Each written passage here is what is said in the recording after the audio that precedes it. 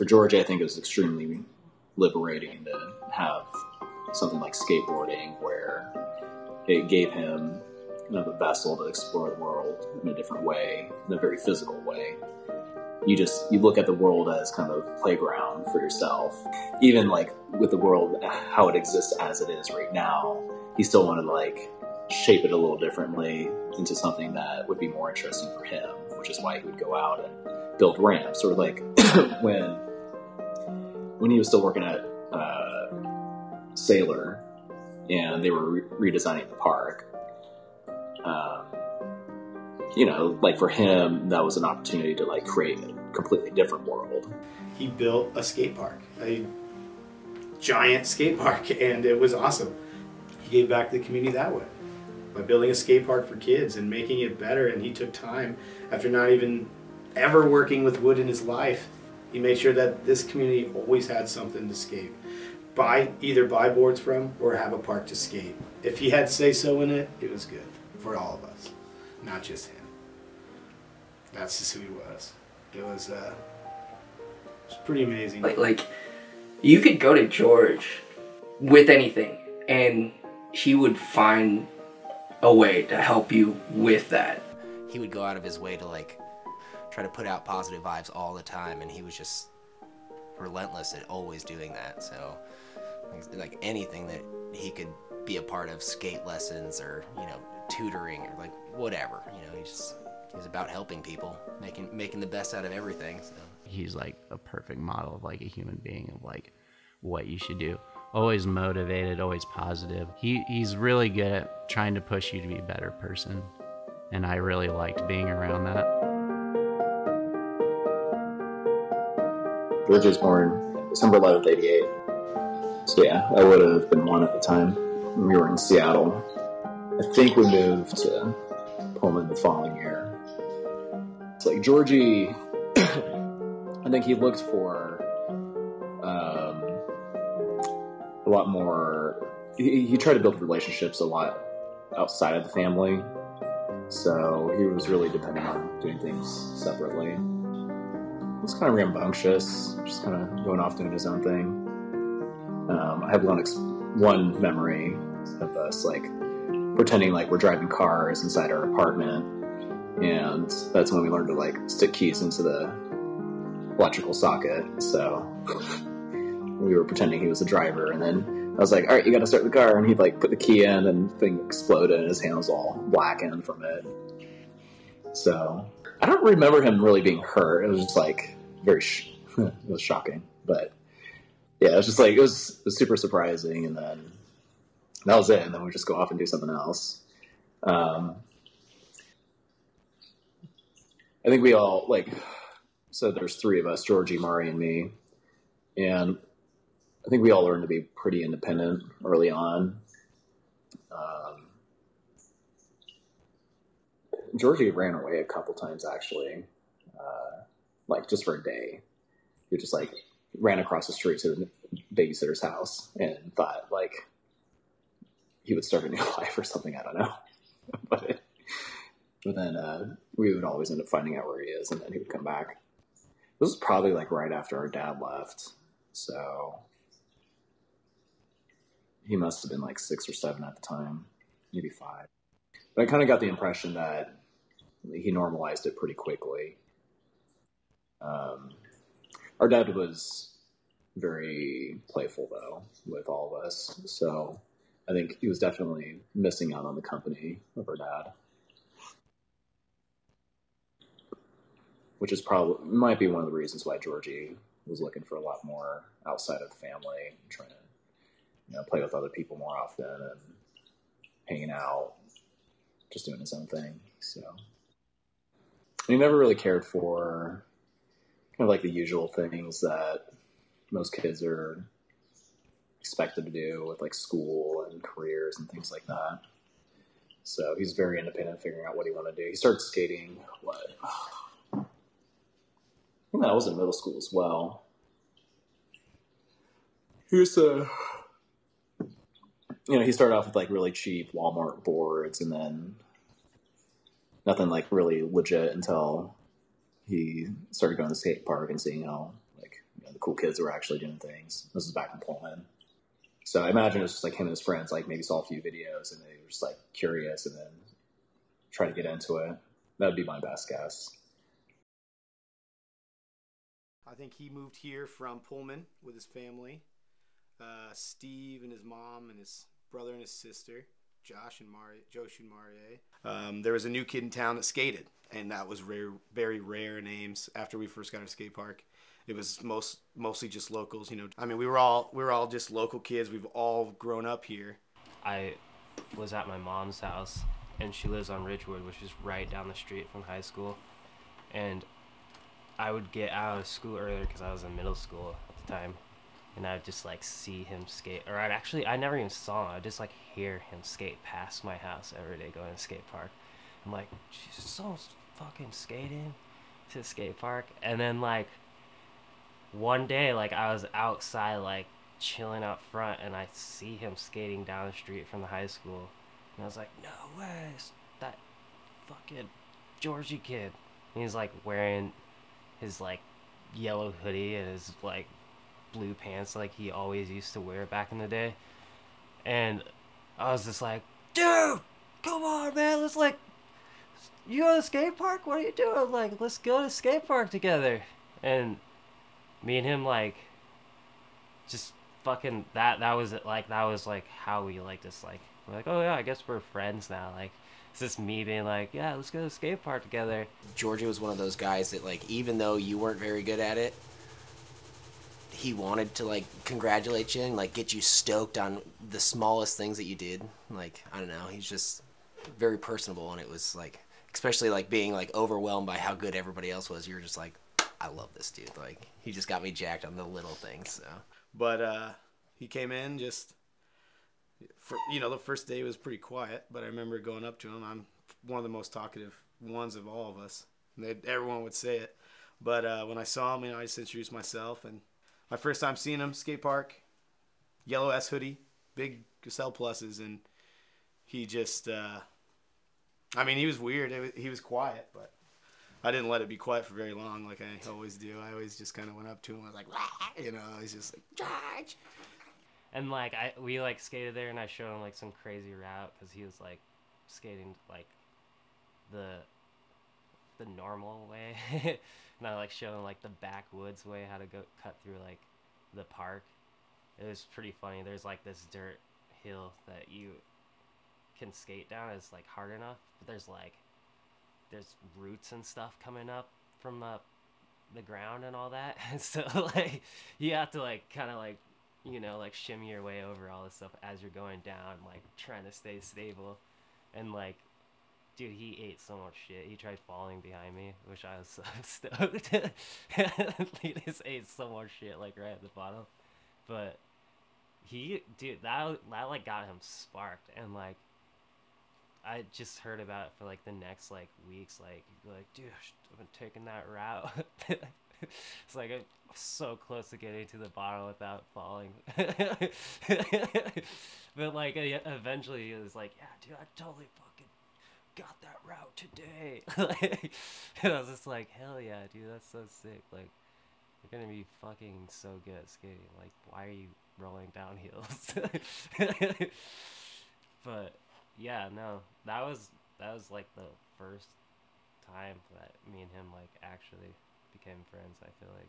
like Adam and I said, he was a little bit younger than us. Um, I think it was just at the skate park, and it was pretty apparent, like being one of the older guys, like, oh, like who's who's this kid, and just kept showing up just as often as all the, like the rest of us, and like it was a daily thing, and you could tell he wasn't like super seasoned when he showed up, but he definitely progressed quickly um, and always had a good attitude. Like that, that place brought a lot of people together, I think, and it was it was awesome for him to be one of them. more than likely what ended up happening is I was probably filming and um, he was, you know, trying a trick and he's like, hey man, let's get this on film, let's try it, you know? And I think that is pretty much the basis for a lot of my friendships within skateboarding, within this community here in Ames anyways, is uh, it all kind of started with the skateboard, and then for me, it, it kind of um, took on another aspect, which was videography or photography. So, yeah. I think he started school when I was a sophomore, and like he was also a sophomore, and he was the new kid. And I definitely have this memory where like, uh, like I don't know whose idea it was, but it was it was not cool. Like he wanted to like sit with the people who skated or whatever at lunch, and we like had this plan where it was like, okay, when Georgie gets to the table, let's all just get up and walk away. And like we did that multiple times, and it was so mean. I didn't even know who he was, but we're sitting here playing this joke on this dude I didn't I didn't even know, and so I was like, well, I'm just gonna do it because I like you guys, but we offended him, and after that, I was like, well, I'm not gonna be a dick to this kid anymore, and we became best friends pretty quick. It didn't matter like what you did as long as you were like trying to go out there and do whatever you loved. He supported it. So like artists, musicians, also art, but like you know skateboarding, kids especially like any kid trying to do anything like if he could find some means to like connect with them he would go out of his way to like talk to them and like you know get them excited and that was something i never even like understood how to do for myself like i mean just put yourself out there and like you know try to try to put out positive vibes all the time and he was just relentless at always doing that so like, like anything that he could be a part of skate lessons or you know tutoring or like whatever you know he's just he's about helping people making making the best out of everything so Uh, I met George probably sometime. I think I was like third or fourth grade. You know, just a, a little kid with a Walmart skateboard, right? Rolling out to the park and getting in everybody's way. just a regular little wiener kid. That's it. So, from my point of view, with him being younger, um, he was kind of a kid that, like, some of us older guys were like, "You're cool, we got you, like, you're with us." Um, but again, just his attitude and his willingness to be very personable to anybody. Like, it didn't matter how old or young you were, like what your background was, it didn't matter. Like if you skated, like he was down to talk to you and like treat you as an equal. It wasn't until like I think fifth grade. It was just me and George skating at the park. It, there weren't any lights yet. Um, it was sundown, and I was probably skating something I probably shouldn't have been. And uh, I guess, well, I fractured my ankle. I didn't necessarily break it. I didn't have to wear a cast or anything. But George was the only person there. Thank God for that, man. Because uh, if it wasn't for George, I probably really wouldn't have been able to make it home. Really, he uh, he called his stepdad at the time. Uh, I think his name was Steve, uh, and then he came in, got us, took me home, and then my uh, my mom and my sister took me to the hospital. But like that's at that point, that's when I I guess became friends with George, and then you know after after my ankle healed and I came back to the park, we you know started talking and skating together and whatnot, and then that was kind of you know after I started getting a little better. Uh, probably like summer between sixth and seventh grade that that's when I finally had the privilege of becoming one of them. He was the motivator, whether or not he was on the board or off the board. He was the hype guy. He was always just light lighting a fire under your ass, you know? You, you could get him to try any trick. He was like, hey, I'll buy you a Jimmy John's sandwich, or hey, uh, I'll buy you coffee, or you know, I got lunch. He would just try anything. One day we tried to get him to big flip the four, and he landed on it first try, and he just kept landing on it and slipping out, like belly flopping, essentially, just boom, and he wouldn't give up. He, it's like we only told him to try it once, but then he wouldn't stop trying it. It was so funny. And he just kept slamming. He would try anything you'd ask him to do. Or you could talk him into trying anything. You know, to be around someone like that to have a person like that in your community, in your group of friends, that is huge. You know, if if you're struggling, if you're down, if you're not feeling like you want to commit to something, and you have that one person there that's always got your back. It's always just, you know, building you up to be a better person, to be like, you got this. This try. You know, that is that is such a huge part of what community means to me. Is like each one of us can contribute something to a collective group. What he brought was just energy, you know, pure raw energy. Anytime he would skate a rail, he was a normal dude. Like he wasn't a robot skater. Like he definitely had the opportunity to meet the cement very personally many times because he was willing to push that envelope so much like you're going to pay at that point. Like if you're really pushing it like and he did and he never gave up because of it. Because all this scar tissue had developed on his not only his elbows but his hands he went through this phase where he like every time he'd bail a trick he couldn't like roll because his elbows were so gnarly and mashed up. He couldn't like put his hands down because they were so destroyed that he would fall on his chest and then he would just like he would make this uh this uh noise and it was just so bad. It was so brutal man. It was just like he was he you know i think he had sort of developed a reputation of being committed and throwing himself at whatever he's trying you know? Being willing to sacrifice and to you know be there filming him trying those tricks when he was at that point where he was so injured that he just had to fall on the concrete on his chest and you heard it. That was something that i kind of missed that was like i don't ever want to see my friends fall or get hurt obviously nothing like that. But to see that level of dedication that level of commitment that level of sacrifice I miss that, man. I remember like getting these gnarly ingrown toenails, or I mean, these bruises on my feet because I would try to kickflip Big Four or ollie it, and I would bail and I'd land, my toes would just jam into the front of my shoes, and I didn't know why my toenails hurt so bad. And I'm like, because my feet are just moving around in these shoes, they didn't even fit me. And I remember putting my one day when he brought up that he thinks we're wearing suit, shoes too big. I'm like, what? And I like went down and I put my thumb and it was an inch. And I'm like, you're fucking right. I wear a seven and a half.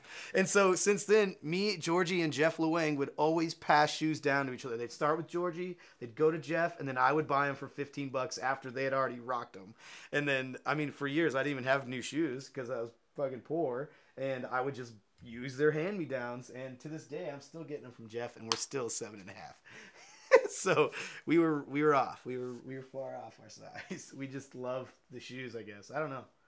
You know, we were in high school together. He, um, he had a Spanish teacher, Mrs. Quintero, and uh, one day after class, she um, took him aside after everybody else had left and was like, "Georgie, I need to talk to you." You know, and he's like, whoa, you know, what's going on? Because she's very serious. She's got this whole demeanor that's just like, you know, there's something going on. So it's like, yeah, you know, what, what's up? And she's like, Georgie, I think we need to talk about what's going on at home. And he's like, mm, really confused. And he's like, what do you mean? Like, and she goes, well, Georgie, look at your arms. Like, you're, you know, what's going on at home? Are you being abused? And he goes on to just like laugh and he's just like look i skateboard i fall a lot because his arms were so bruised and bloody and scabbed up.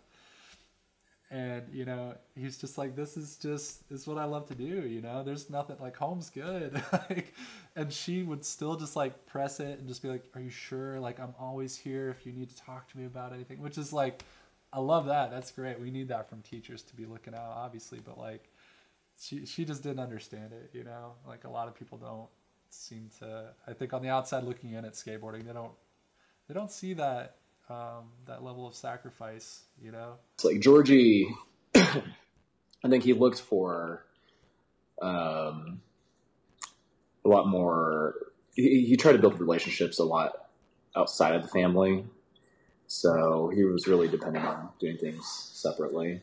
He was frustrated a lot because being the middle or the the middle child, recognizing that you might kind of be the dark horse a little bit. You know, he really felt misunderstood a lot of the time um, because of just the fact that he was a skateboarder and his, you know, his his mom at least didn't really seem to.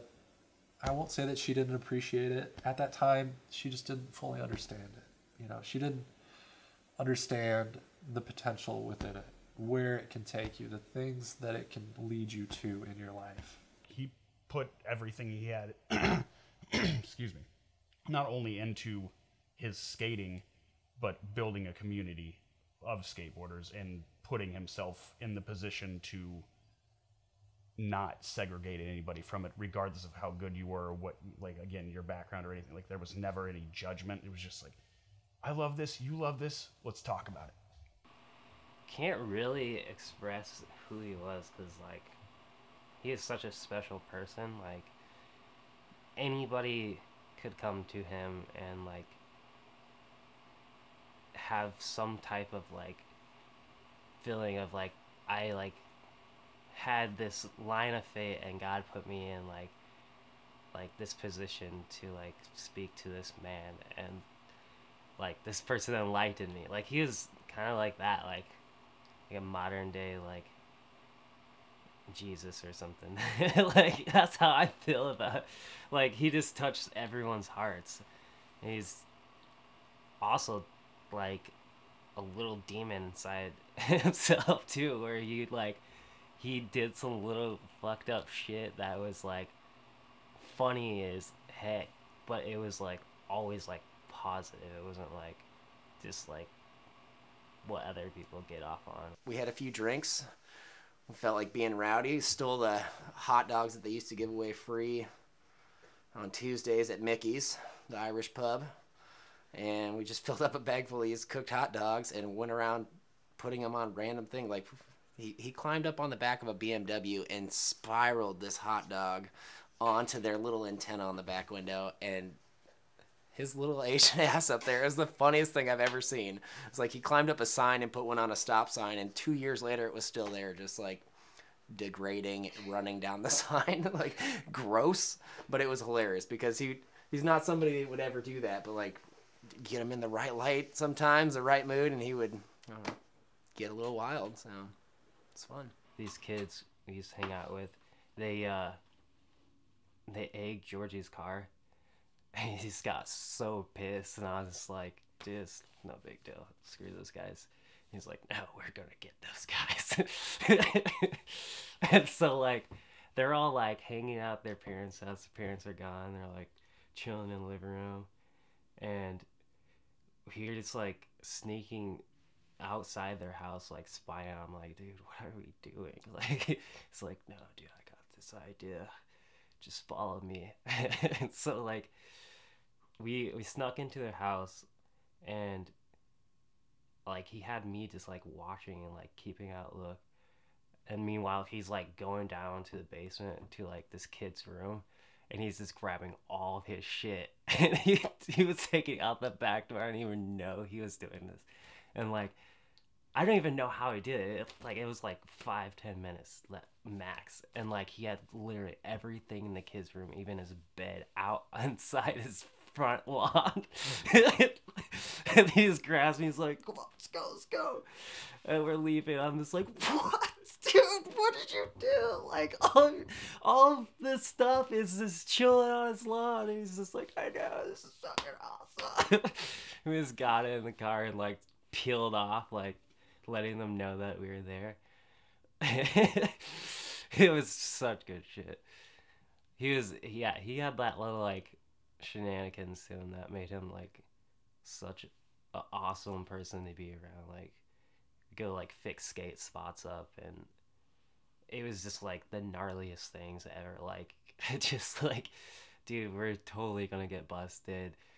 Cops are gonna be like asking us who we are and like where our parents live and all this stuff and like he's just like dude no we're doing this like come on we gotta do this we gotta make skate spots in Ames if no one else is going to it's just always like crazy stuff like that he's always wanted a shop because we couldn't keep one in town. All the shops that we did have closed. There, I mean, one of them was a fucking Hobby Lobby, like it was Hobby Lobby. You go buy trains and cardboard airplanes and like remote control trains and shit. They had skateboards in there because we had, it was a hobby store. That's where we bought our boards, Hobby Lobby. And Georgie's like, we need to fucking get our boards somewhere else other than Hobby Lobby. And Subsec moved names and they closed, so we didn't have a shop. And Georgie's like, we need a shop. Him and Chris Perkins tried to start one. It opened for a couple weeks and it was in a dark basement where now is the Vinyl Cafe here in Ames. And that was the first shop. You know, by the time we're uh, seniors, um, you know, 17, 18 years old, um, to have him pursue um, a business license, to have him open up a physical location, an actual skate shop, um, at that age, and you know, I didn't know anybody that was doing anything like that at that time. He told me it was like his grandma loaned him five hundred dollars so he could start the shop. He started it while he was in high school, which was it was crazy. It was like how many high school stu- students started a business while they were still going to school. It's pretty amazing to see from my standpoint because growing up and watching him come into town, not knowing anyone, to having his own skate shop three years later, to hiring our best friends, Ryan Shalou, Waffles, Jeff Loewe. Um, they all had jobs there. And he was giving us all boards. If we couldn't afford one, he'd let us get one on spot and we'd pay him 20 bucks here and there until we could pay it off. I mean, I remember once having a $250 tab and I was like, sorry. And I paid him off and it was like, I didn't even realize like that's how giving he was, you know. And it wasn't it wasn't for money. It was for all of us to keep skating and keep having the gear and just it kept the drive and the thrive there. I mean, it truly did. So he was there for everyone, not just himself. Ever, ever. It was awesome. Like, I think he was able to somehow get that business license even before he was 18. That's, again, just how driven he was to, you know, follow through with his dreams. So, um, I mean, as far as what he contributed to maybe the Ames community or the skate community in a sense, you know, obviously just having a, a physical um, business, a location where, you know, you could get product, you could get your boards, wheels, whatever. He was the only 18 year old kid in his last senior year in high school who worked full time at the Flame and Scary. He was a server. He worked every single night. He had he was going to school and he had a skate shop. He had a skate shop. He was paying rent on his own business at 19 years old. So I mean that alone, you're selling skateboards back to the community. People are buying from you. So even at a young age of 18, he was doing everything he could to get a skate shop back in this town after we've had failed attempts of them. He made sure we had one and he kept it here. As long as he was in this town, we had a shop. And we and every time he wasn't here, it went away. You know, it's like Georgie kept a shop here. He kept kids buying boards locally in this town. Like, yeah, we don't mind driving to Subsec to buy boards. We don't like we don't mind doing that because we have to. That's what keeps us going. But he made that we didn't have to do that. Put a shop here in this town and he did it for us. He didn't make money off of it. He made enough to keep going. And he made just enough to pay rent for years. He could have closed down whenever. He thought he was going to make a lot of money at first. And he's like, you know what? At the end of the day, I know I'm not going to make a bunch of money, but we have a shop. We could all go hang out there when it was raining and watch skate videos. We took this road trip after we graduated high school in 2007. Um, man, at that point to you know not have smartphones to basically just have your person in the passenger seat saying all right you know here's the map. This is where we're going. We're going to try and figure it out. And it's going to be great. You know we packed four of us. It was me tony grant and georgie. Uh, we packed all four of us in his little honda civic hatchback and we took off across the country. We were going to washington state and we were going to stop in denver um, along the way to skate the park there and then make our way north, northwest, get up to Washington, which is where um, he was from originally. So we were going to his hometown. So um, along the way, it was like a two week trip. So I think we had a total of um, three flat tires. We had over two hundred and sixty dollars in parking tickets. We almost got arrested. Um, so I mean, this was the most epic road trip ever. So I guess like we get to Denver, everything's good. We skate to park, stay there, head out the next day, go north into Wyoming. Blizzard, interstate shut down. We have to backtrack, take a completely different route than what we had originally planned.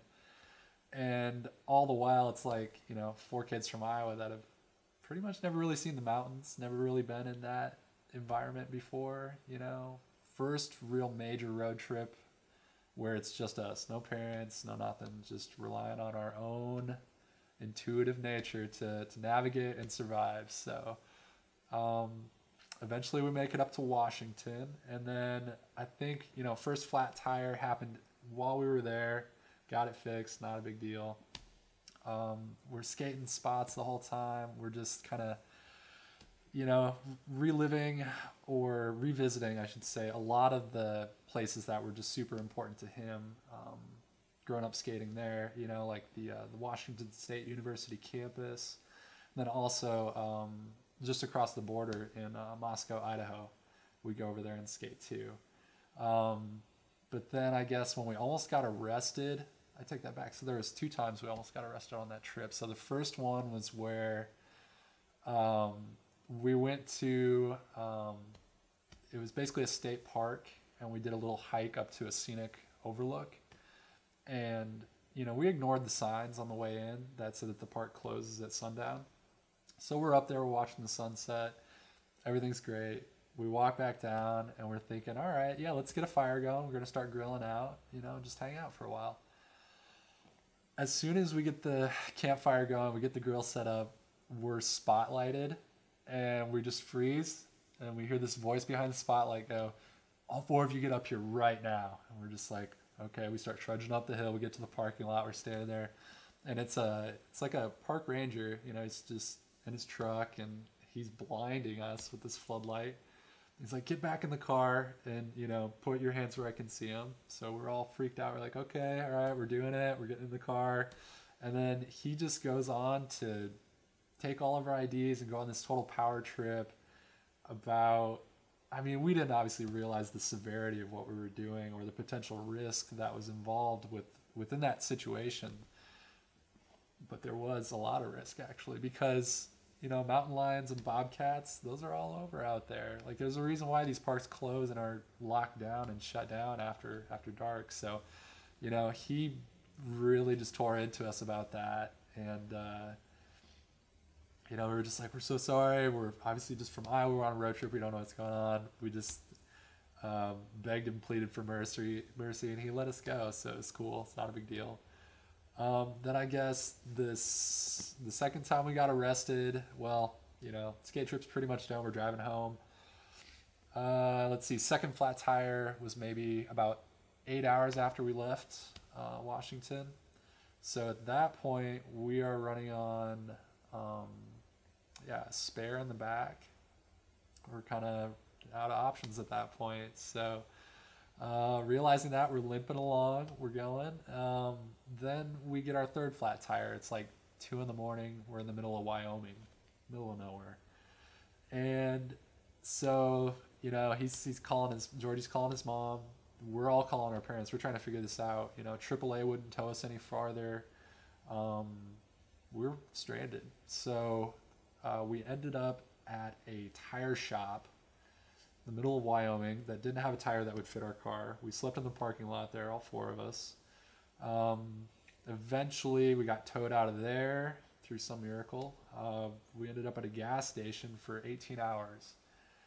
Then, what ended up happening is that, you know, we decided we were done with this. We wanted to just get out of there. We were kind of just desperate so I'm looking out in the parking lot. I kind of know cars, and I'm like, okay, that car over there that has a spare in it that will fit this car. And so my other buddy Grant, he goes over there, he looks at it, he's like, yeah, there's actually two spare tires in the back hatch of that car. So he goes over there, grabs one of them, and brings it over to our car, and we proceed to swap it out so we can get going. Uh, it's probably like five minutes after he started doing that, a sheriff rolled up and he, you know, was just like, "Hey, stop what you're doing." The Um, gas station attendants, they've been watching us the whole time, saw everything happen. So that was just another moment where we begged and pleaded for forgiveness. The owner of the car was someone who actually worked at the gas station, didn't want to press charges. So we were just like, all right, we're not getting arrested. That's great. We're still stranded. So um, then I guess as we're like kind of saying goodbyes to the sheriff and just being like, well, fuck, what do we do now? It's like this guy had overheard us talking to the sheriff about how we're stranded, and he's like, you know what? I'm gonna go back to my house. I think I've got a rim and tire that's gonna fit on there. So sure enough, this guy drives a half hour out of his way back to his house, half hour back to us, gives us a rim and tire to put on the car. We get going, we go back to his place, we hang out with him, super cool guy. It's pretty amazing actually. And uh, then yeah, we got back on the road. We finally made it home. It was just so epic. It was so epic, man. It was just like obstacle after obstacle after obstacle, but just knowing that it doesn't matter what happens. You're with your friends. It's an adventure. It's a journey. You know, it's just exciting the whole way. So Even like at parties, like you'd be like the guy over in the corner, like, look, man, you don't need to beat your girlfriend. like, it's like talking. Like, there was one time I went to this party, and these kids were just like calling their friend like names and shit, and he's like this tiny little Asian kid, like going up against these tall ass jocks. He's like, dude, fuck off, dude. Stop calling your friend that. He's your fucking friend. Like, treat him with respect. Like, and these kids got so pissed and they were like fucking chasing us and stuff. And we were just, we just thought it was funny because we're like, we're gonna get away with this.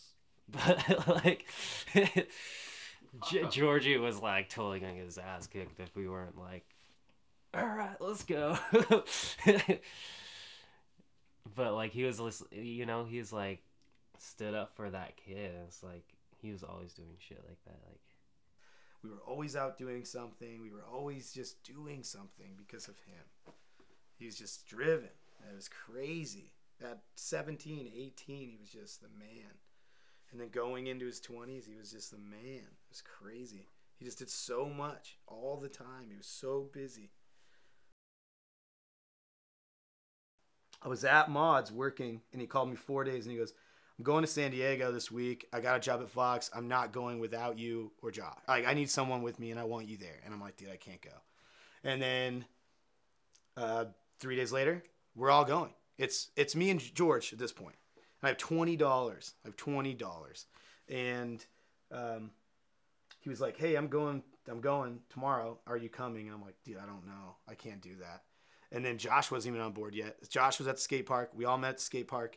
Uh, we see Josh Kelly, and Georgie's like, "Hey, I'm going to San Diego tomorrow to move to like live my dreams in skating." And Josh went home, told his mom he's on board, and then Georgie calls me again and goes, "Hey, Josh is on board. Are you coming with me or not?" And I'm like, "All right, yeah, I'll go with you. I'll leave tomorrow." And we ended up buying a hitch from the trailer store right outside by um, Hawk. Hawk.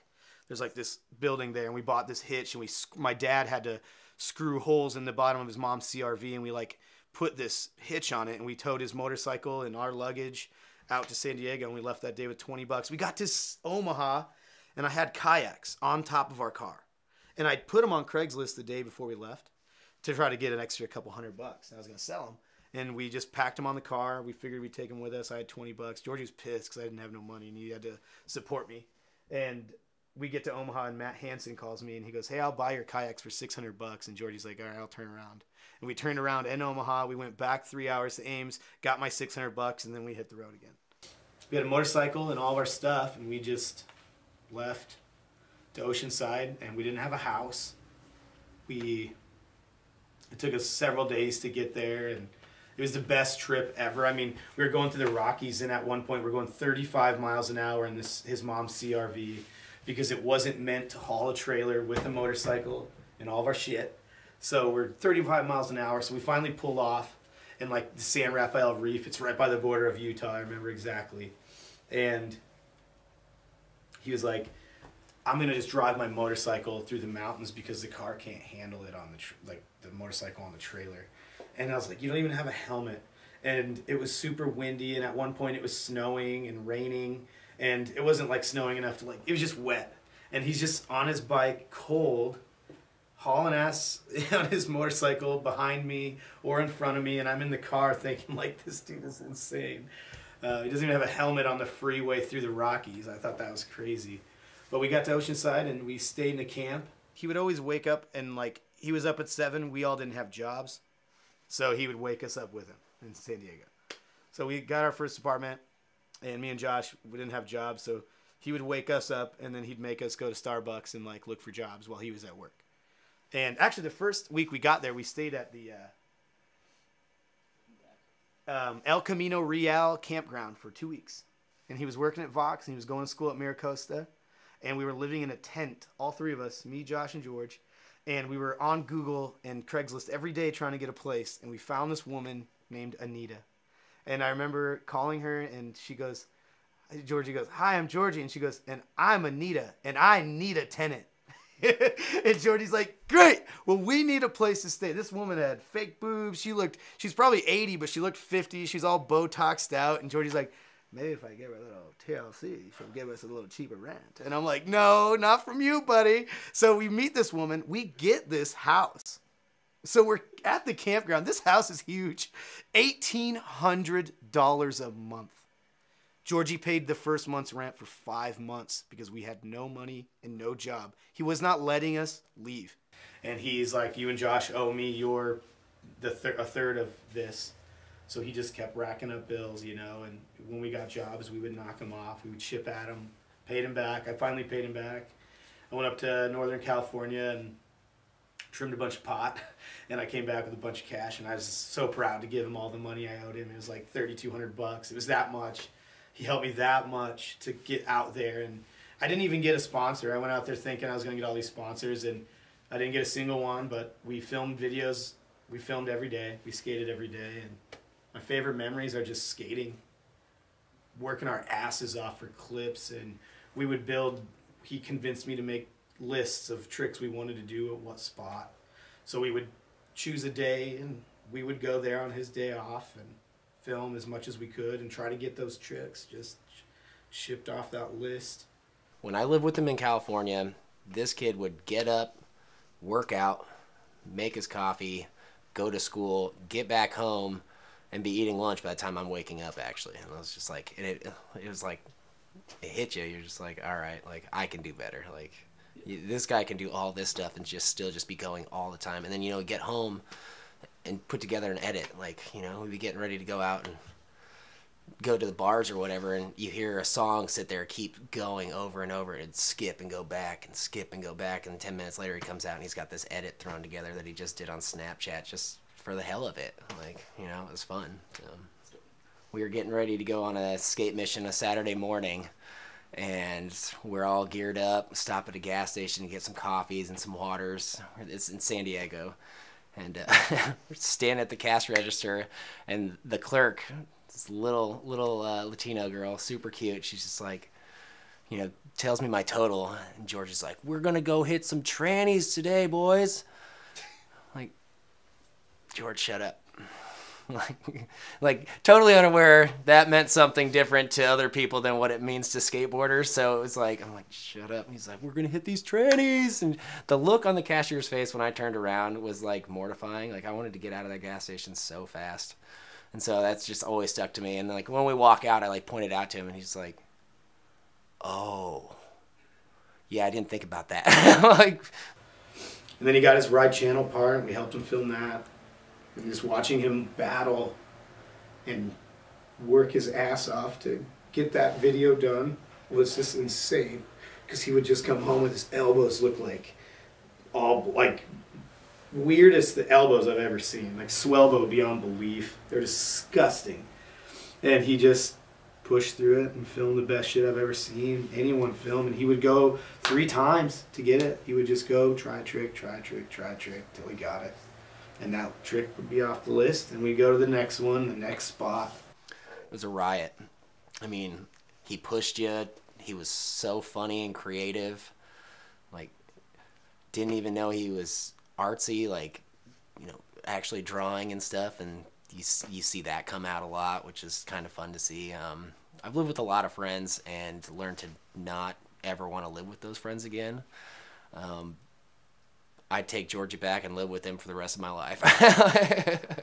he would always just like make come up with these skits and they would always act him out like halloween. They dressed up as old school skaters. Him and tyler they have a video on youtube and it's funniest shit ever. He was always just so creative with his videos. He would think of them for weeks and then do them and so one day he was leaving the house and i just downloaded snapchat. I could afford like a nice smartphone. So i got snapchat downloaded and it was right when it came out and i remember going over the edge of the porch and like while he was going to work like eight in the morning he's all with his white t-shirt and his black dickies uh, i look over the edge and I go hey george! And i just take this rotten watermelon that we found in our fridge and i just spiked it on the sidewalk two stories down in front of him and it just sprayed him with watermelon and he just got soaked. It was like you know a car drives by and sprays you with rainwater. It's just like and he just like you fucking asshole. And he just turned around, walked back upstairs, punched me in the arm real hard, and then got dressed and went back to work. And he messaged me at lunch. He was like, I'm still fucking sticky, dude. Like, suck it. And it was so funny and it was so unplanned. There's a bunch of Iowa kids. Uh, Tony LeCount. God, it was how many people we have in there? Nine people in a three bedroom. So Tony and Caitlin and Tyler Greaser, Jimmy Cathy followed me out there on a whim, and we we slept on the floor. We also had three dogs.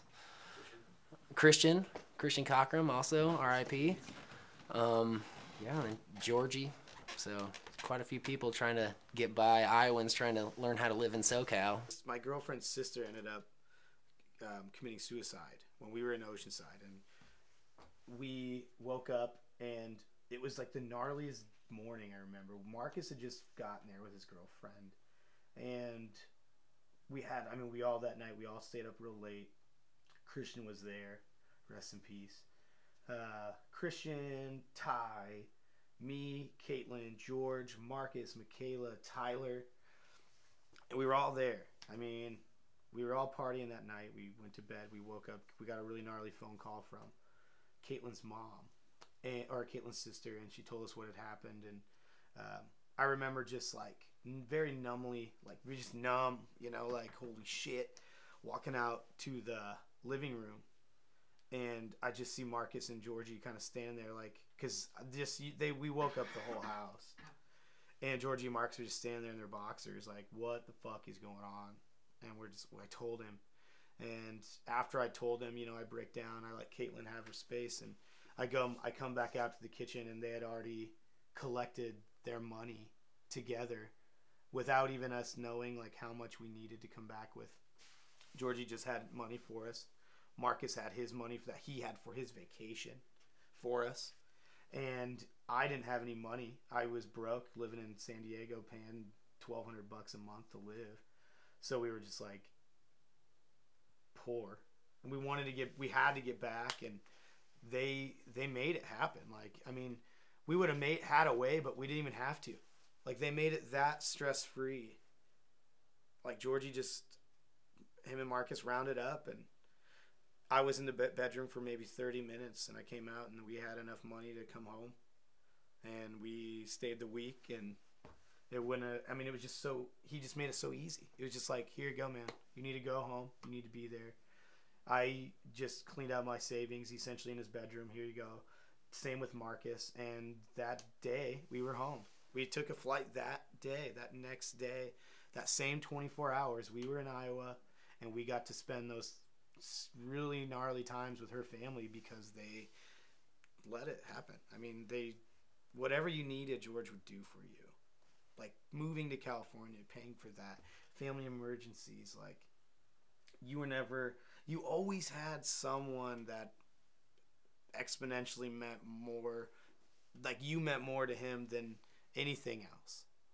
If he could help you out, he would. And if he knew he needed to, he would do it. He's just, he was just there for us. And me especially. I mean, that man taught me so many lessons. Lee and I went out to California to visit him.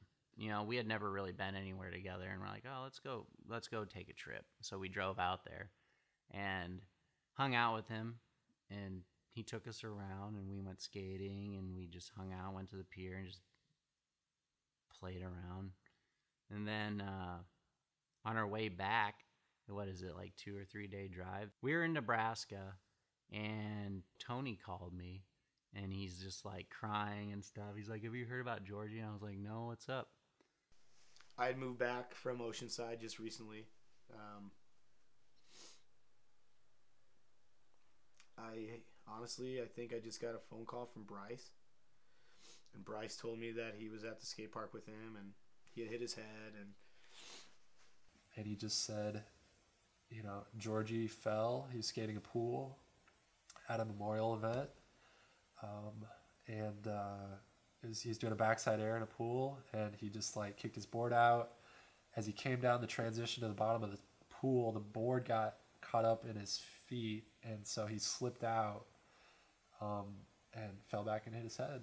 And um, you know, he just gave me the brutal details. It's like you know, he's bleeding out of his ears. He's basically unconscious. Um, and I just wasn't processing the situation. I was like, he's gonna be all right. Like, chill out, and then like, I still didn't process it for like a uh, for a minute. And I remember just like getting really numb, but at the same time, like I didn't want to completely break down because I didn't want that to be true.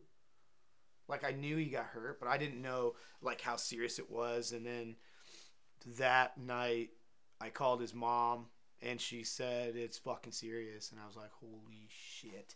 And then he was like talking to me. He was like, "We gotta get tickets to go out there," and we were both working for Aunt Maude's at the time, and so like, I was like, "Oh shit! Like this is actually serious. Like, do you need to go out there and fly out there and see him?" And so I got a ticket. I think Tony got a ticket, but our boss wouldn't let both of us leave. So Tony let me go out there. The next week when Marcus flew out there with Michaela, I was like, I'm like four days away from my kid's birth, and I couldn't go. I couldn't go. I couldn't make it, and it broke my heart. I had just moved to Arkansas. Um, I heard about the accident.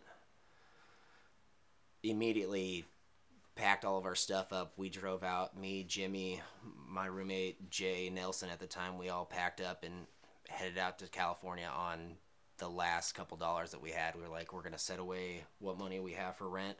It's like I heard that he's in a coma, and I'm like freaking out. So and like it can't be real. That was this. That was this really like wake up call for me because I no idea what it meant to like be in a coma, like an induced coma, and like how that affects people and the shit that he actually went through. Because I didn't hear any of this, like this, the full story of what actually happened. From what the doctors told me, apparently hit the back of his head so hard that what happened is it like pushed his brain forward with such force that it damaged the front part of his brain. So like the back of his head wasn't even hurt, but the front part of his brain was forced so hard that it was damaged and it was swelling up so they had to cut like a like a two by two inch piece out of his skull so his brain would protrude so it wasn't like forcing it to like you know it, it was helping it to like relieve his swelling and they were like god it, it was just so weird being there, like not knowing what I was getting myself into, and then all that was just like thrown on me, and I like immediately like had to like leave the room after all this. It was heart wrenching to see him like broken but not beaten, like but like he was he wasn't the same person. He you know his brain was still trying to like he was trying to process everything because he had been in a coma for so long, he he didn't know what was a dream and what was real, and so to see him like not knowing, you know, some details, it was it was hard to see, but it was I'm glad that we got out there. They like called us back in, like go in, and they're like telling us like there's a really small possibility that Georgie is going to live. And we're just like, no, this is not like This is like, and they're like, yeah, well, this is like the case, and so we're just letting you guys know, like, if you guys want to keep us working at this, like, we're gonna work as hard as we can to make this happen. And like Teresa was all for it, of course, like any of us were, but like she was like the person that was like in the the uh the surgeon's face, like, yeah, like you're gonna do whatever you can to save my son. And so like that was like the first day I got there and then the repeated days that I started to show back up, we were just going and like sitting with Georgie and he's just a vegetable and but his his vitals were staying like up there and so like there was still like a chance for him to live. And so we I just like would just like sit there and talk to him for hours like and this like try to get him to like remember stuff like they were telling me that like he would need to like be able to like function like use his body. Again like he's, he's gonna have a hard time remembering how to do that. So like i would be like george remember that switch flip you did like a couple of weeks ago? Like god that felt so good i bet. Like could you imagine what that felt like like in your right foot and like try to like like you know just like get that like mental like image of him like using his body and like i really think that kind of helped like him because like eventually he started like picking up his hands and like doing stuff like it would be like a tech deck or something. And to hear from his doctor that he's improved in two days more than people he's had for you know multiple years and he's going to make a full recovery and like that made us feel really good but it was, it was hard. It was like a slow process. I was only out there for a week but like i went from seeing him like be able to like just do this to like trying to like get out of bed and like sit up and like stand up and get out of bed like it got so bad to the point that like the doctors had to put mittens on his hands because he was like he was pulling out his vitals and he was like getting out of bed like harnessing himself. And they even had straps on his arms and somehow he was getting the straps off his arms and pulling the gloves off and like sitting up and trying to get out of bed. Like no one knew how he was getting up it. like he was like literally locked in place like tied to the mattress with mittens on and he was still somehow getting out of bed and they're just like super concerned because like he's not gonna be able to just take his whole full body weight right off the bat and he's gonna easily fall and if he falls he could injure his head like worse than it is and so like that was like it was exciting but it was also scary. You're like george slow down. Like you gotta slow down man. Like we know you can do this. Like you're strong but like you gotta relax and like be patient too. And he's such a stubborn person like even unconsciously. Like he was so stubborn. Right before I left, the last day I left, he did like he did a like a little like, Ugh. and he was like, Marcus, and I was like, that's fucking right, George. like, it was so cool. And then like yeah, and then after I left, like Teresa was like, he's been talking about some weird stuff like high school girls and stuff like this. And I was just like, dude, what? Just, no. She's like, yeah, he's just saying some weird, bizarre stuff right now. And it's it's crazy because like when when I left, I just I heard about all the progress and I was just like, it's so cool. And then he he was at that point and he was ready to fly back to Ames, and I was like, all right, like we're meeting you at Des Moines Airport, and so we had like the whole crew go. And dude, that was incredible. Just to give him a huge hug, one after another, and to see his face light up, and to see that spark and that connection um, be reignited. That was so powerful. It was awesome. Just like seeing him come home and conscious and like he was still like you could see it he was stoked on it just everything he was they were walking down the hall and George is like doing skateboarding tricks with his fingers on the the handrail, like on the wall. Just like this rail is like, oh, there's a little gap in the rail to the next rail, pops an ollie next. Like it was, it was, it was awesome. Like he hadn't forgot who he was. He was still him. But I would also add that it's just very disconcerting and uh, to to see.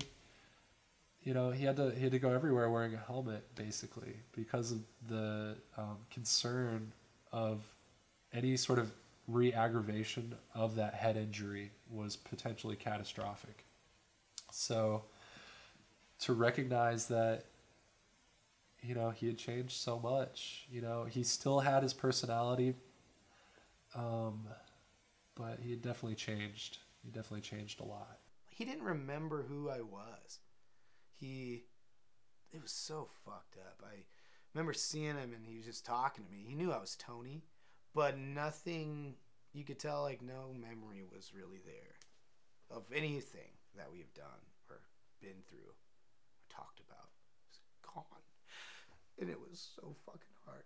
He thought that I was having twin boys when I was having a little girl. He didn't, it wasn't him.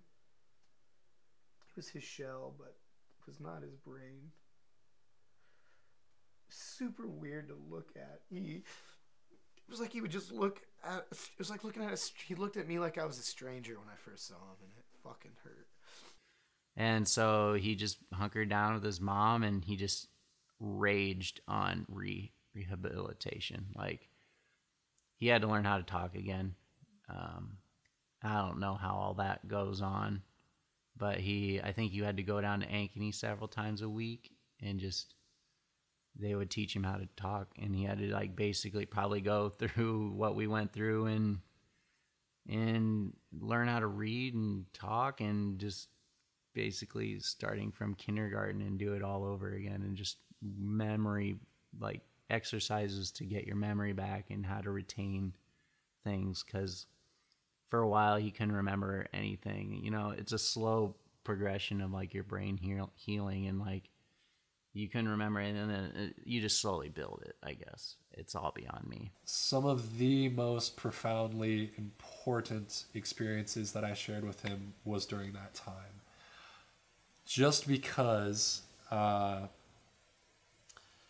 you know, again, to just keep talking it up, his level of dedication, commitment, and motivation was uh, just phenomenal. he kind of in a more sense like became even more driven like because one of the things me and georgie shared a lot was like you know health and like fitness and all that after his accident like he was like like downing like smoothies every day and like eating vegan and like working out like bicycles runs like every morning i was just like dude, you're like working harder than I am, and you're trying to recover. like, chill out, dude. But he, no, that's like what he wanted to do, and he did it best. he and his mom actually they worked together to construct a harness in their basement of their house so that he would be suspended from the ceiling while he was skating flat ground. He was relearning all of his tricks, but there was no risk of him falling or hitting his head. Um, that was incredibly powerful to learn.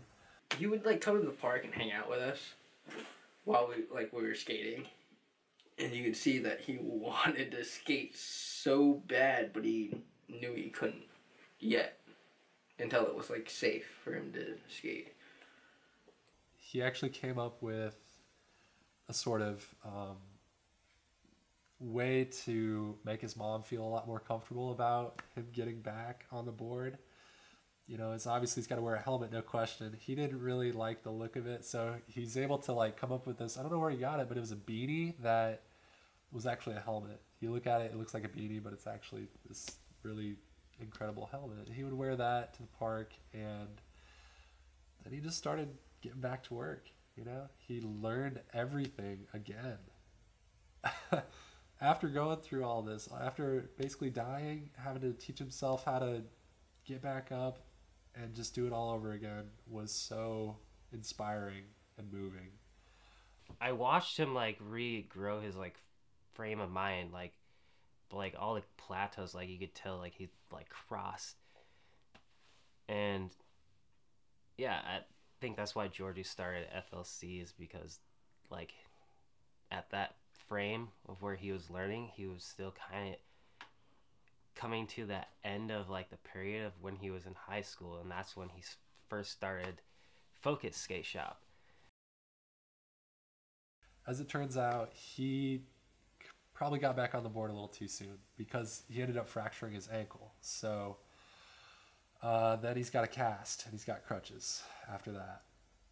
So he can't really skate, and his focus is then, you know, kind of shifting away from skating to now being all in on the shop. that shop was going to be that new building was going to be the FLC shop that we all that was going to be it like that was the headquarters and FLC had been I think it finally became this really big picture of like all of us homies. We're to start filming shit. We're to have our shop. We're to have a team. We're to make dope videos and it's to be awesome. FLC started its Flatland crew, and it comes from being in the Midwest. It's flat here, you know, and that's where he dreamed up this Flatland crew. And uh, I mean, it was just you know we we all have our in our minds that oh yeah I'm gonna start like a crew or a company or like a, a, a clothing company or some some whatever. We all think about it from we've all probably thought about it, but it works with him because you're like, oh yeah, whatever. Well, Georgie's doing some. Like, I want to be a part of what Georgie's doing. Hell yeah. FLC is us. Me, Marcus, this town, everyone down with George. Georgie's FLC. He started it. It was his. It's not an idea. It's not like, oh, we're gonna call ourselves this. It, it became that.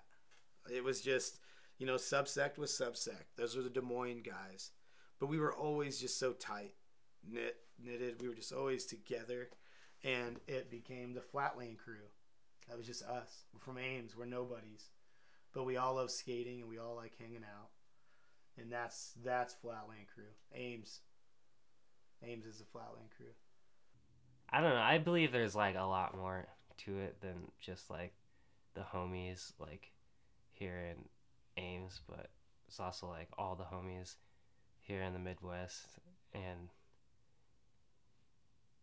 for the most part like that's like what Georgie like really wanted was for every like everybody like specifically like Des Moines crew and like Ames crew to like get along because I feel like at some point in time, like when we were younger kids, there was so much tension with like just the stigma of like sh- people who like were real street skaters and like park skaters and like Ames kids got called out all the time for being park skaters, even though like our park is like the roughest park like to skate. It's not really like a fun park to go and like just throw yourself around because you're gonna get beat up doing that. But we also like street skated a lot, and so I don't know. We always were just like, dude, fuck those Des Moines kids for like acting like they're so much better than us. And I think like just like Georgie, like I don't know, his persona, like everyone just like we're like, whoa, that kid's like doing really cool tricks. And so everyone just kinda like started liking him. And I, I honestly don't think like that would be a like there would have never been like a change if Georgie like never like came to Ames and like started skating. I feel like Des Moines kids and Ames kids would still kind of hate each other because that was definitely how it was like before he came.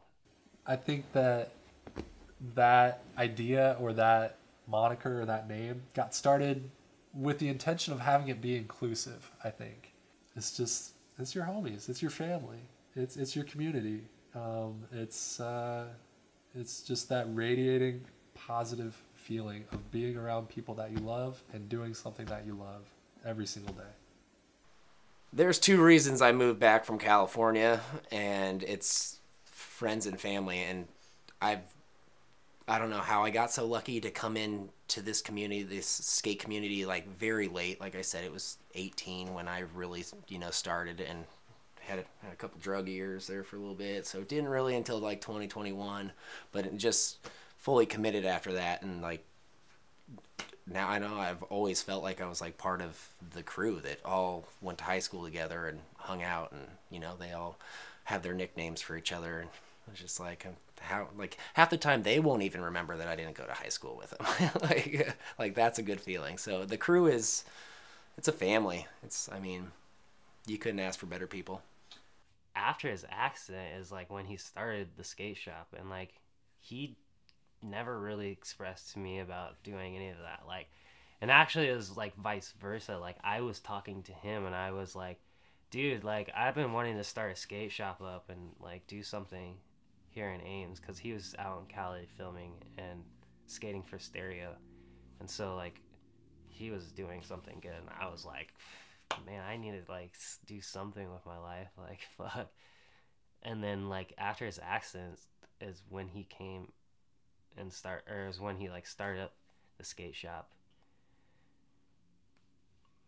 and that was FLC skate shop. But that was gonna be it, and you knew it. That was his brainchild. That was the other shop was his brainchild, but he didn't remodel that shop. He just bought whatever he could to put into it, and then he made a shop happen with everything he could get.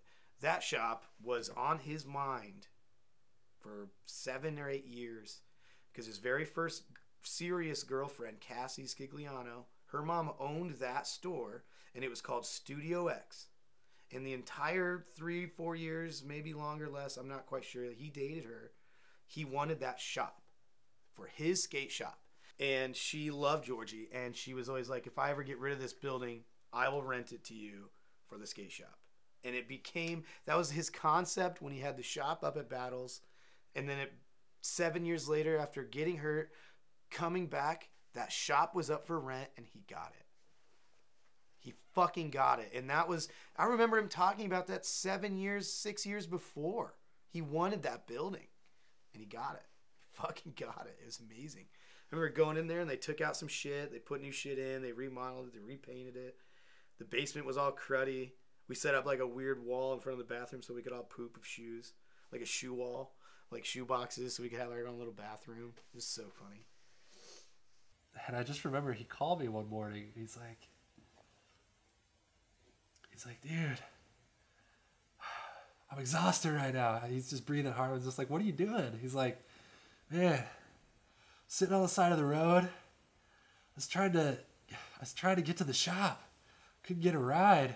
It's like, you, you tried to to walk yourself on crutches over two miles to get to the shop so that you could then continue working doing manual labor trying to get the shop open like what are you doing man like i mean i guess i wasn't surprised in a way you know because like that was just him that's who he was he's like and I couldn't go any farther. Like my armpits, they're on fire. They're just rubbed raw from these crutches. And he's just laying there exhausted, you know? And I was like, man, I'll come give you a ride, whatever. He's like, it's all good. I think I got somebody on the way. I'm just trying to get a backup plan. But, you know, that again, just speaking to that kid's level of dedication and commitment, that was just unreal. My girlfriend at the time. And so, like, we just me and her had been together for about five years, and we together like helped Georgie like we're his at that time when like he has accent like we are his closest friends like hanging out with him every day and going out to the woods and he would just tell us stuff about how like he's like I don't know how to talk to any of these guys anymore like I just feel so like out of the loop and I was just like, dude, whatever, man. And like he would like tell us about like he's like, I don't even remember like what music I listened to, like what do I like anymore, and like I was like I would make playlists for him, and like I was like, dude, you used to fucking play this shit all the time. It was the same shit I like listened to, so like we're tight, man. like me and him just like hung out a lot in those times, and it was really cool, like like he got to meet my well he already knew her my ex, and um, we all were like vegan at the time, so we'd all like go to the store and shop together and stuff. I- I couldn't I couldn't talk like that to anybody else I, I knew. Not my family, nobody. It, it just they didn't get it. You know? I and even at that time I had a very basic level of articulating my thoughts and feelings and all of these huge uh, complex questions that I was asking about, you know, who am I? What am I doing here? I really couldn't delve into that with a lot of other people. But with Georgie, it's like he got it. He understood it. He spoke the language. He saw me for who I was. He heard me and he understood. And that's something that I know that you know, we as human beings, we, we need that. We need to feel that connection. That's how we're wired. We're social beings and for me to have that level of social interaction with someone that I loved and I cared about so much, I mean, there's nothing else like that. You know, I get it in in a, in a different way with some of my friends today, but it's still not quite the same. You know. Basically had retained all of his tricks back that he had lost from his injury. He had basically had about everything back that I remember. I mean, he struggled, you know, he had little, but I mean, how do you not struggle a little bit? Like you're, I can't imagine, you know, but he was like doing all of his tricks and he was learning front foot impossibles and probably some other tricks. so it was mind boggling to me, like learning new tricks. Like, and I don't even remember what the recovery period was, but it just does not seem like it was that long, you know, to be at you know, it seemed it, to me it seemed like a year prior to him learning front foot impossibles, he was in an induced coma. Like I don't know, my timeline's correct. So less than a year from when he was in a coma, he was learning front foot impossibles. That's insane to me. From an injury, a brain injury that could have potentially ended your life. when we started filming videos and stuff, we started putting out like FLC at the park. Start, um, he started like connecting with a bunch of the people he had already worked with out in Cali, and was like, "Hey, like, just trying to hook up the homies out here, like, trying to start a skate shop, and like, which is really hard if you don't have a connection like that. you can't just like order stuff." Like he was doing, like he had already had all this stuff before he even had like brick and mortar building. And then, yeah, like I knew he was gonna do the shop, and he was looking around for a while. And thing that sucked about that is, I wish I could have been there to see like, cause that when he, I guess when he was working on the shop, that was like when everyone started to see that he was becoming very fatigued, and that he's having these, uh,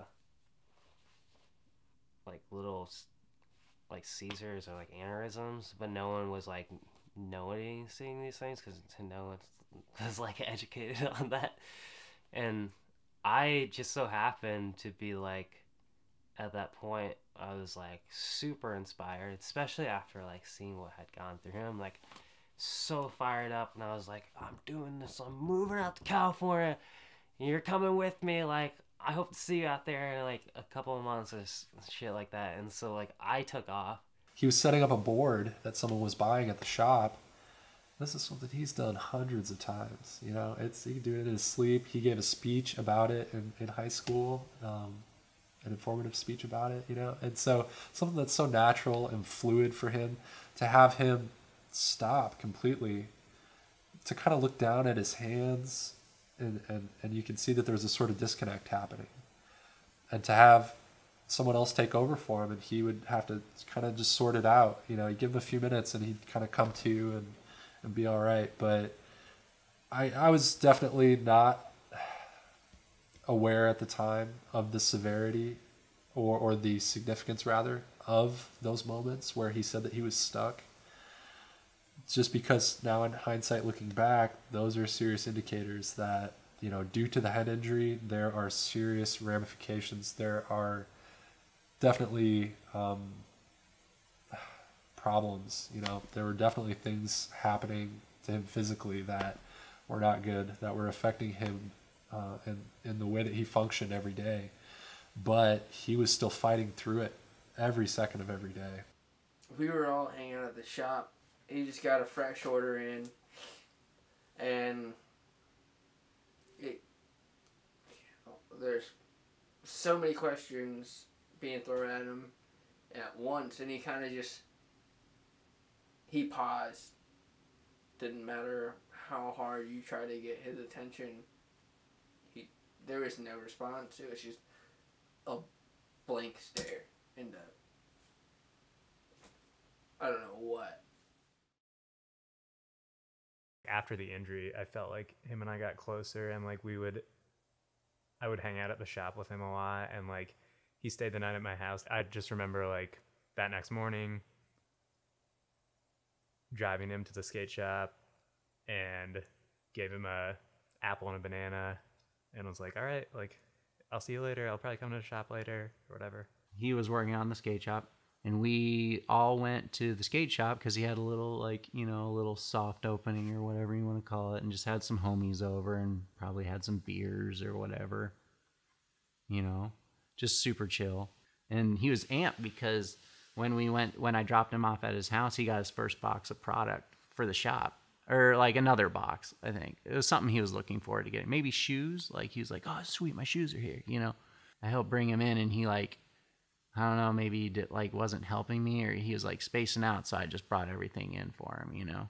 But I didn't think anything of it. I don't remember though for sure. That could be a I don't know, I could be making that up. I don't remember. But yeah, I brought his stuff in, just set it down for him and and just was like, see you tomorrow, dude, you know? And that morning, um, you know, I got out of bed, got into the shower, and uh, I got out of the shower to see that Teresa had messaged me. His mom had messaged me, and she said that she hadn't heard from Georgie and that she was really concerned about him. Uh, because that was their routine. They check in every morning. And her level of concern was you know, even more apparent because I knew that she was out of town. She was at a family event, and um, Georgie was by himself. So um, I messaged her back and I just said, you know, if you haven't been able to get in contact with him, we've got to call in a wellness check. And uh, she said, okay, so I'm going to go ahead and do that. She did it. And um, as soon as she called in that wellness check, I messaged her and I just said, I'm going to go over there. Next day, I went fishing, probably hungover. we went out late that night. So I was fishing at the river down here on 13th Street. Just went fishing. I fish all the time. And Derek called me. He's like, because Georgie was supposed to open up the shop that morning. He's like, dude, have you heard from Georgie, you know? I'm like, no, what's up? He's like, I'll call you back. And I was like, that was weird. So like I got really this is where this is where it's really weird. When Derek called me, I was like, that's really weird. But I like felt like something bad happened. Like really like powerful and like I like grabbed my fishing stuff and I like I, I grabbed everything and I started walking like really fast back to my car because it's like you know quarter mile walk back to my car like through the woods. Then I started running and then I like threw all my fishing gear into my car and I just drove like 60 mile an hour down down uh 13th Street here because that takes basically in like and then like uh, yeah I like just drove so fast and I started crying like driving. So um, I got my car, drove over here. It's right over here, Jarrett Circle, and uh, as soon as I rolled up to the house, you know, I saw I saw an ambulance and I saw two police cars outside. I didn't see anybody outside, no EMTs, no police officers. So I got out of my car, I walked up to the house, I got to the front porch, I saw that the front door was open, and um, one of the EMTs uh, walked out as I was approaching, and he just said, uh, "You can't go in. You know, you just need to wait right here." And I just I nodded. I said, "Okay." Um, and then a few minutes later, um, a, a police officer came out and you know asked me who I was. I just told him, you know, I'm Derek, and he's like, "Well, how do you know Georgie?" And I was like, "He's my best friend." And then you know, he goes, well, I'm sorry to be the one to have to tell you, but Mr. Tsushima has passed away. And then, um, yeah, everything changed. Everything changed to that moment. I, you know, I went into shock. I, I couldn't really speak. I wasn't crying. I was just, my mouth was open. I was breathing deep. I stood there for I don't know how long. You know, he, the police officer asked me, Are you okay? I couldn't respond. I couldn't say anything. My mind was just reeling. It, it, you know, just obviously failure to comprehend the information that I was processing. Eventually, you know, he just kind of took me by the shoulder and, and you know, sat me down. And uh, outside of their house, they, they have massive maple trees right there. And uh, all, all I could do is just is just look up at those trees and uh, I just kept breathing. I watched the trees just swaying in the breeze. Kept looking at the sunlight.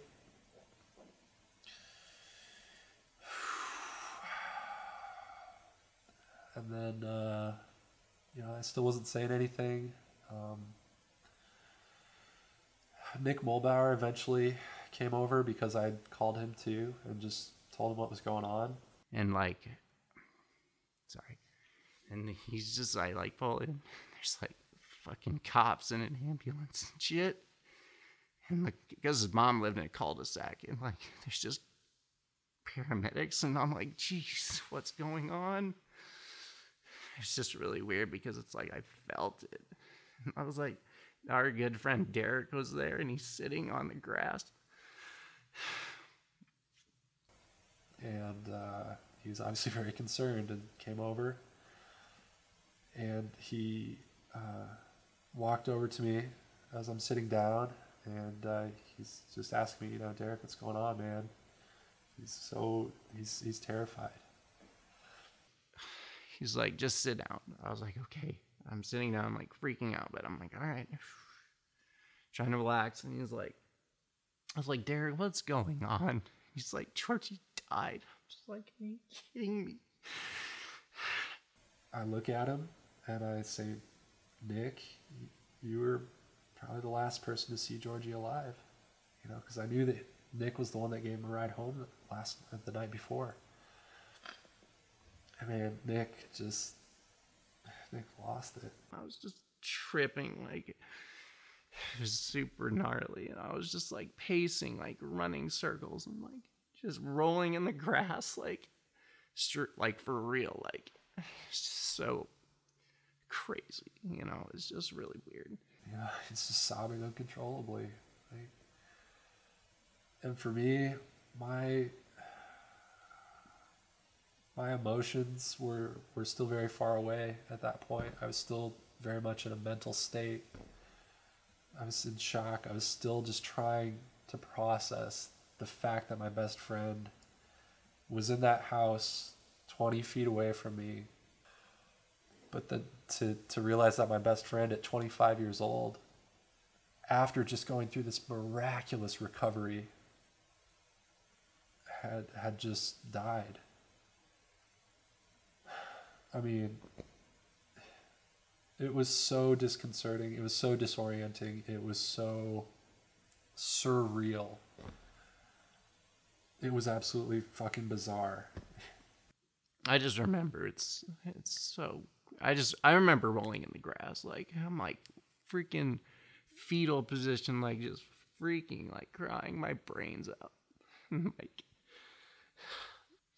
and I I just remember like that's like I I know like that's like the worst pain I've ever felt in my life. Like sadness you know?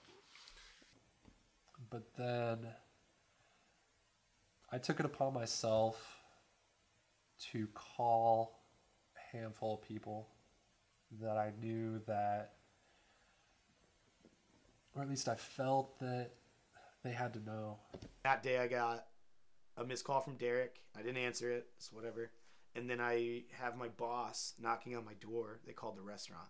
And they goes, "This guy named Derek's on the phone with you," and I just grabbed it and I hung up because my dad is really was really sick, and my dad has cancer, had cancer, and now he's not doing the best. But but we I always knew my dad was going to be not doing well. So uh, when I live far away, every time I get a phone call from someone, I do always give me a little hesitation to answer. And then I was like, "Fuck, my dad's dead. My dad died. My dad died." Caitlin, I can't call him back. Caitlin's like, "You have to call him back. Call him back." So she's sitting there like rubbing my back. I am just doing this. I remember just doing this like, "Fuck, I don't want to call him back." And then I get another call from him, and I answer it, and he's like, "Tony, this is gonna be the worst day of your life." I goes, my dad. He's like, no, Georgie's on a stretcher right now in front of me, being brought out of his house. He's dead, dude. He's fucking dead, dude. And I just, boom, like tunnel vision. And I just dropped the phone. And I'm just standing there, like, Kaylin, Kaylin, Georgie's dead. And I just remember, like, just crumbling and it was the most unreal feeling I've ever had. I've never felt that in my life. My life. I've never felt that. Like afraid. I was like afraid. Like it was scary. Nothing was gonna be the same. Ever again. And it wasn't, it hasn't. But that was it. That was that call was just like just being nailed into the ground and you couldn't help it. You couldn't do anything about it. And then you just had to walk back to your house and take care of your kid and go to work for 10 hours and just pretend like that wasn't real. But it was. And it was fucked up. It was the most insane phone call feeling still i can i mean when i think of that call i just my hair stands up my body just i get hot it's like a you can it is a feeling I've never felt in my entire life.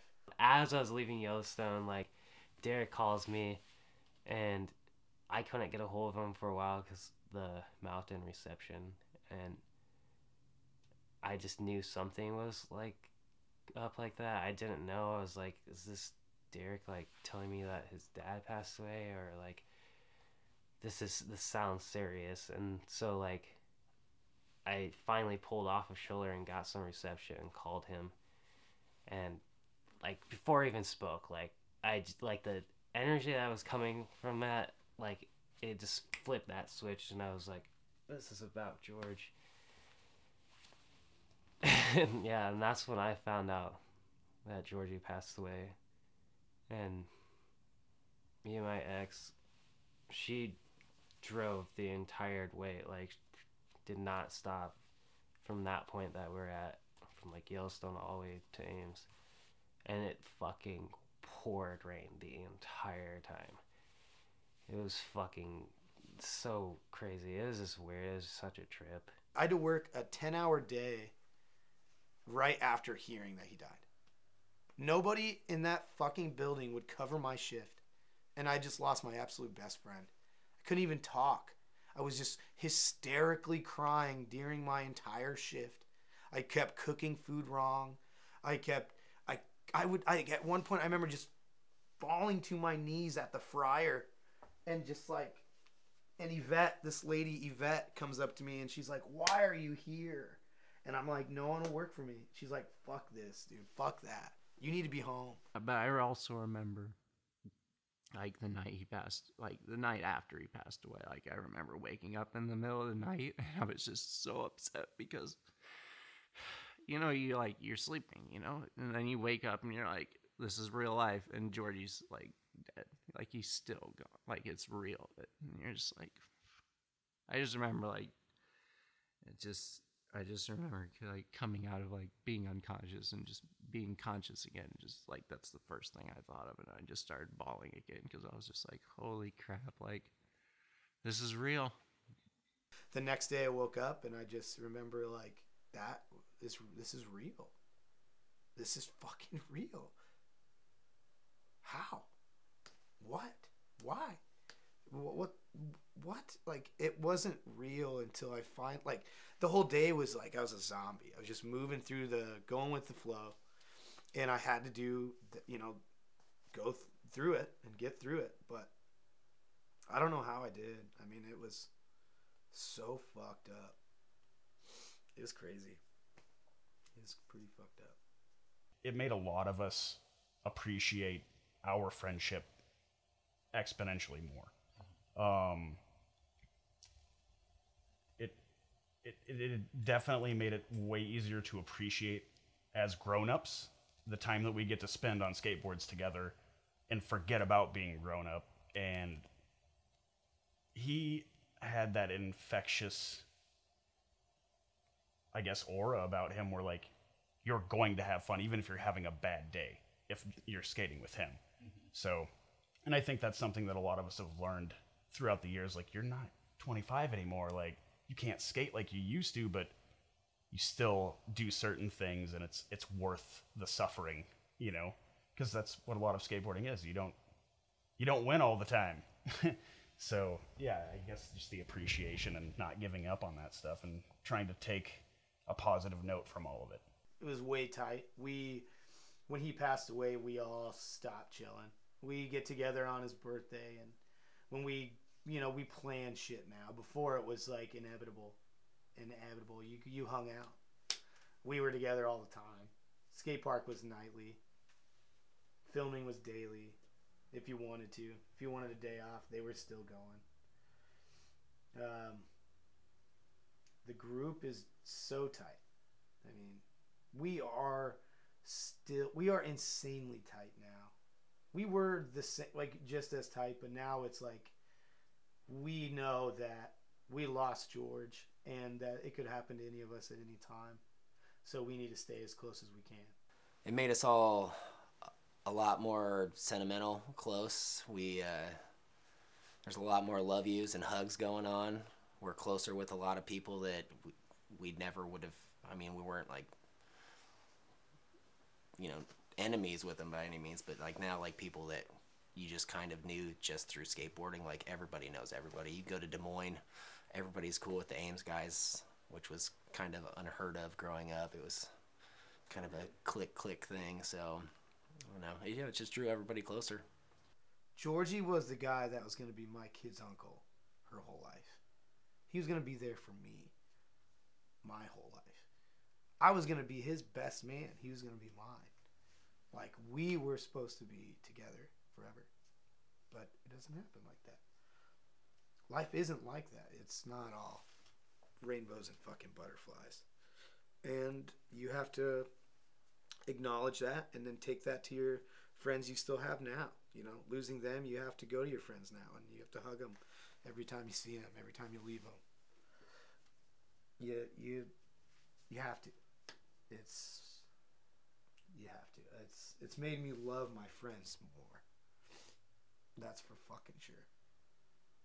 life goes on. You know, I'm fine. I'm great. Like it's not gonna like it's not stop me from doing anything like Georgie passing, but like when he passed away, it just it hurt really bad. And like that that lasted. Just yesterday, I'm putting up pictures and just bawling like a baby, man. It's my room. Cause like you look at a photo, you can like smell him, you can see him, you can. His hats, especially, they were the grossest fucking things. They were they weren't even hats. They were just crusty little. I don't know. It was just so gross. They stunk so bad. It was so funny. We would just get in the car and be like, Ugh! like, oh, get that fucking hat, and then like you'd put it in the trunk sometimes because god damn it, he's just so funny. Everyone says life is so fragile, but really like it's fragile, but in the end, it's fucking cold, and it's you're not as important as you feel. You you can go at any minute, and it's it's a true thing. And watching it firsthand, two of the closest people to me, it makes me love my friends more now, the ones I still have, because you never fucking know. And losing them was fucked up. I mean, This is a time to rally. This is a time to carry momentum, and this is a time to move forward. and I basically said that FLC isn't going anywhere. FLC is here to stay. You know, we are here to continue doing what we do best. And um, the response and reaction um, that came in the following weeks and months and even years after his passing has been tremendous. Even without Georgie, FLC was just as strong, if not stronger, because of the fact that I felt as though, for me personally, it was my responsibility um, through having one of my best friends pass away and having it be such a catalyst for change in my life and within our community and for everybody else to know that okay this is my responsibility to embody and exemplify the the person that he was the things that he believed in you know? How can i continue that out into the world into what i'm experiencing? And so to see not only or to recognize that change within myself to see that change happen within so many other people in our crew that's when i knew that like it was just strong. It always was strong you know? It's it's it's not so much about any one individual you know? It's it's about the group. It's about the collective the community as a whole. So i would say it changed a lot you know obviously to not have him around. But to know that he's never really gone. He's always there you know? We're always you know we're always living through what we experienced with him you know? Constantly every second I just miss his smile.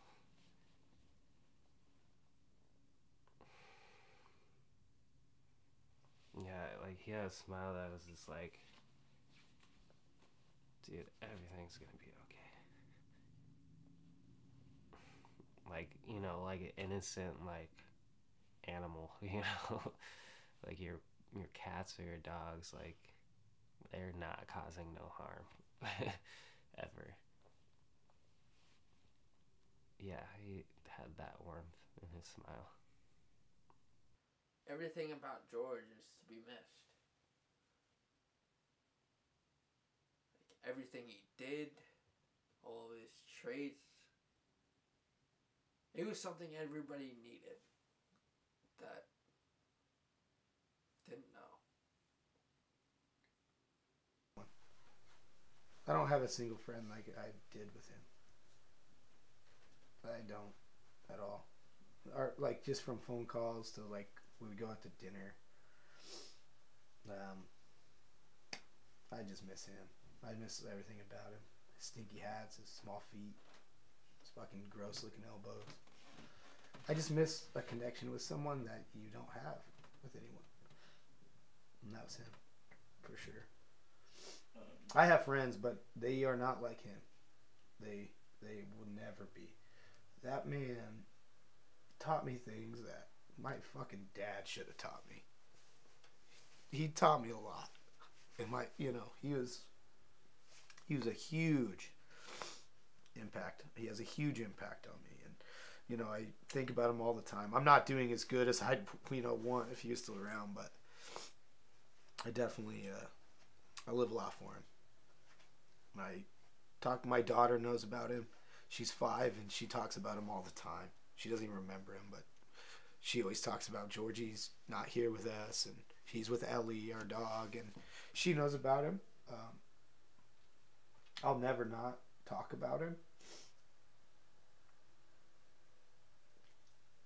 I just miss him. I miss him how he loved my family. He liked my parents. He liked my sisters, my brothers. He was just a fucking real friend that you don't really have very many of, and that's what I miss most about him. His just how warm he was. For sure. I just miss him. I miss his smile. And also, I just. It sounds kind of weird, but like. He was. he You know, I think he had sort of developed a reputation of being committed and throwing himself at whatever he's trying, you know? being willing to sacrifice. That was something that I kind of missed. That was like to see that level of dedication, that level of commitment, that level of sacrifice. I miss that, man.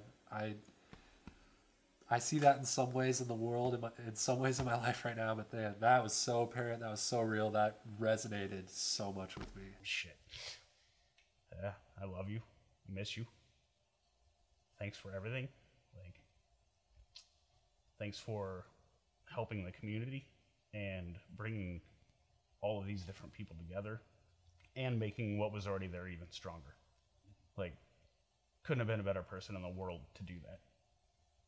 Wouldn't wouldn't choose anybody else in the world to have been that guy. Like irreplaceable. I miss you and I love you. That's, that's about it.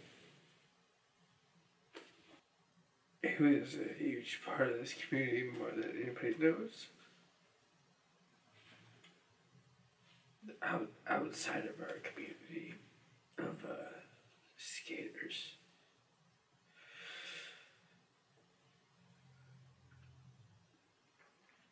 He's what made who we were.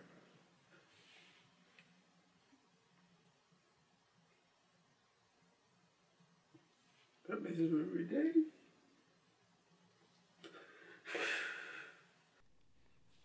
I would probably talk to him about uh, getting some clips, going skating. I don't know, have anything specific I would say to him, but I just want him to know that I still love skating. Thanks to him. and his peanut butter coffees that he loved making. Just that I love him, and uh, I'd say thank you for like uh, getting me back into skating. Um, I love you. I fucking miss you every day. There's not a day I don't think about you. Yeah, thanks for all your inspiration. I would. Oh man.